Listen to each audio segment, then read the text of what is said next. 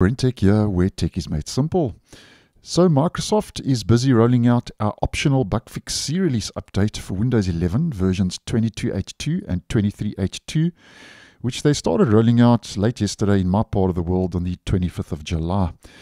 Now, optional updates are just that, and they will remain optional if you have this toggle turned off. But if you have get the latest updates as soon as they're available turned on, the optional update will then become a mandatory update and will be downloaded and installed automatically. So just keep that in mind.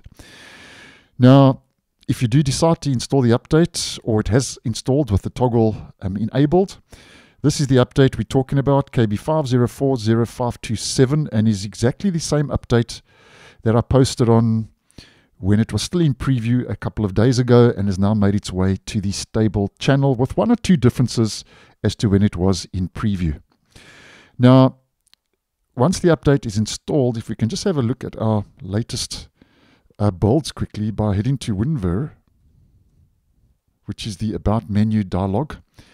So for version 23H2 of Windows 11, uh, the build is now sitting on 22631.3958, and the only difference, if you are still on version 22H2, is the build will be 22621.3958. Now we get four new features that have rolled out with this update, so quite a lot going on. But just take note though that um, these might not be available to all users because they will roll out gradually, says Microsoft. So just take note of that. So if you're not seeing some, then it's they are rolling out controlled. Now I'm just going to mention the first new feature, and there are now notifications for Windows Share in China, which is listed as a new feature. And then the second new feature, um, is a small yet very significant little update where you can now drag apps from the pin section of the of the start menu and pin them to the taskbar. And it makes me think why Microsoft took such a long time to roll that little improvement out. So this has been a long time coming. So there we go. You can now um, drag those apps from the pin section and pin them to your taskbar.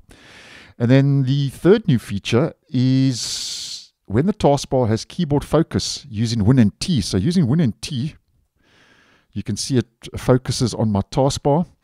You can press a letter and you will go to the app whose name starts with that letter. So I'm just going to press V and that will take me to Vivaldi browser as an example. And Microsoft says when you press a letter more than once, you'll go to the next app whose name starts with that letter. So that's just one or two examples regarding that new feature.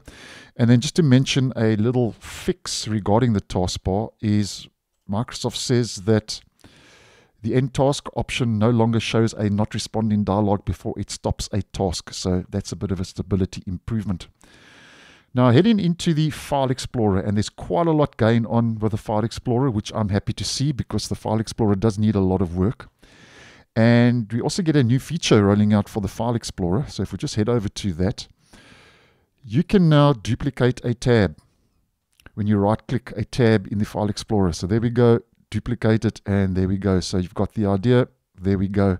So that's also now finally made its way to stable. So that's a nice improvement if you are using the tabs in the File Explorer. Now there are quite a lot of fixes um, that have rolled out, and I'm going to, go through these as quick as possible. Um, first of all, before we have a look at the fixes, just on a side note, um, I have noticed that the feature to compress to native archive support has now also made it uh, into the File Explorer in my region.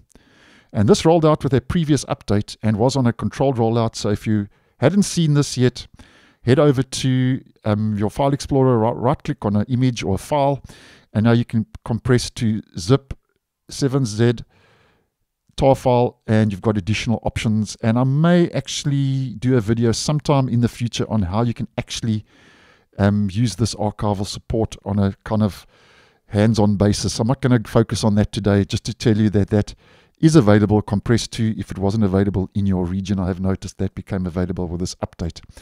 Now, getting back uh, to the fixes for the File Explorer, they've um, addressed a memory leak that occurs when you interact with archive folders, so that's a bit of a performance boost.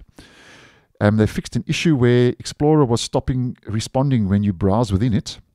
So that's also a nice uh, little fix there. And when you search from home for the first time, apparently um, you might not get any results. So that's also been fixed. Uh, the address bar drop down um, menu might appear when you do not expect it. That's been fixed. And when you use the save dialog to save a file to gallery, an error occurs. And because of this update, your file saves to the pictures library instead. So that's a small significant um, improvement and fix that's rolled out. And the search box does not show the correct folder name when you are in gallery. So that's another fix that's rolled out. And a blank area shows at the top of File Explorer. If you experience that issue, that's been addressed. The back and forward mouse buttons do not work when you hover over the recommended files section um, of the uh, of this of the home section. So that's been addressed and images flash when you view them in the gallery. So once again, um, that's been fixed. And I noticed this when I posted previously, and yes, they have fixed that. When we scrolled in the previous video, there was little flashes on the images, and we can actually see now that I think that is a lot more stable, and I'm not seeing those little flashes. So that's a small improvement. And regarding File Explorer and desktop icons, if you do have any desktop icons, space spacing between them might become very wide. That's also been fixed. So quite a lot going on with the File Explorer. But I have noticed though that um, some issues we have spoken about on the channel are still not addressed. One of which is it loads in two parts. So basically, you get your main body first, and then your um, your toolbar and your title bar here at the top loading in a second phase.